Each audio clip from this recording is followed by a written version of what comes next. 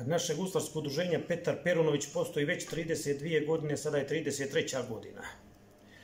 Kroz naše guslarsko udruženje prošlo je ogromni broj učesnika i vrstnih guslara koji su se postoje razišli po, po svim zemljama regiona i koji dan danas pronose slavu i koji guslaju. E, naše udruženje je počelo, od kada je počelo sa radom, znači maksimalno svaka zarada i rad i doprinosi koje, su, koje je naše društvo doprinijelo, to je u prosjeku bilo sve rad za humanitarne akcije, za pomoći poplavljenim, bolesnima, za neke ustanove i tako. E, nikakih prihoda ni primanja nemamo, nikad ništa skoro nismo dobili niti od opštine, niti od neke druge nevladne organizacije, niti od nekud sa strane. Međutim, jedino šta smo dobili kada smo organizovali festivale koji su rađeni na republičkom nivou, održali smo dva festivala u Bijelom polju, tada smo dobili neke minimalne pomoći od određenih ljudi i grupacija. Mi smo i zahvalni i uručili smo i zahvalnice i diplome, i pred publikom mi, mi smo ih pročitali i svima se javno zahvalili. Mi nemamo svoje prostorije, tragamo za prostorijom i uspjeli smo jedino, zahvaljujući Miljanu Đukiću, dobili smo vikendom, to jeste nedeljom, srpski klub, gdje obučavamo djecu i u, on nam je to dao džabe i bez ikakve nadoknade, jer drugu prostoriju nijesmo imali.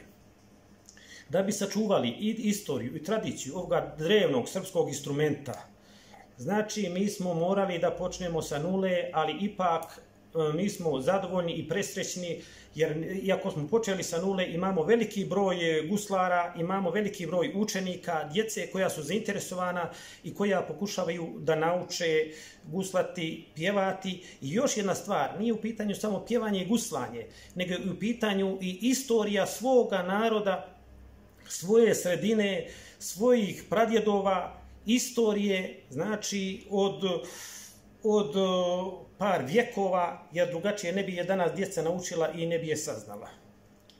Imamo i list gusle koji dijelimo omladini, jer to je propratni list koji prati na, na republičkom i na savjeznom nivou kompletan rad guslara. Znači, guslara Srbije, guslara Crne Gore i guslara Republike Srpske. Mi imamo i naš krovni savez, to je Dušanovo carstvo, koji ima oko 14-15 gusarskih udruženja. Mi računamo da smo jedno od skoro najjačih gusarskih udruženja u Crnoj Gori posle Vojvode Mine Radovića. Vojvoda Mina Radović ima veliki broj mladih guslara, starih guslara, imaju školu gusala i mi smo jedini na sjeveru koji imamo školu gusala.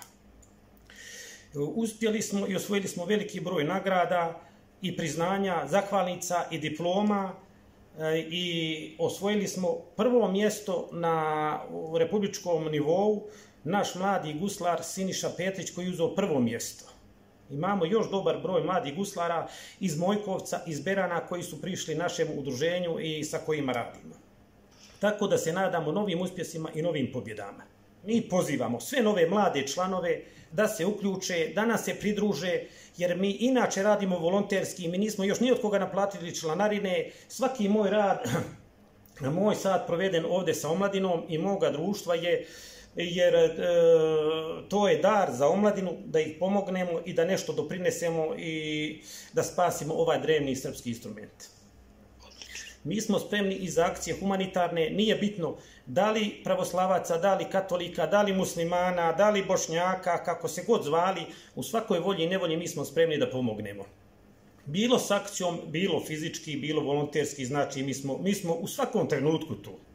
Mi u tome dijelu ne pravimo razdvajanja. Jer ja sam imao druga Muja Omerovića koji i dan danas pjeva i bavi se ovim srpskim drevnim instrumentom, on je inače iz Priboja, Džemajla Arnautovića isto iz Priboja, pjesnika i guslara. I ja pozivam i pravoslavce, i muslimane, i svi koji vole ovaj drevni instrument da uče, pa neka pjevaju na svoj način i svoje pjesme kako njima odgovara i kako vole, ali bitno je da se ne zaboravi ovaj instrument, da se što više družimo i da se unese neka veselija duhovnost u omladinu, da se makne omladina sa ulice, da se makne omladina od kompjutera, od računara, od telefona i tako. Odlično.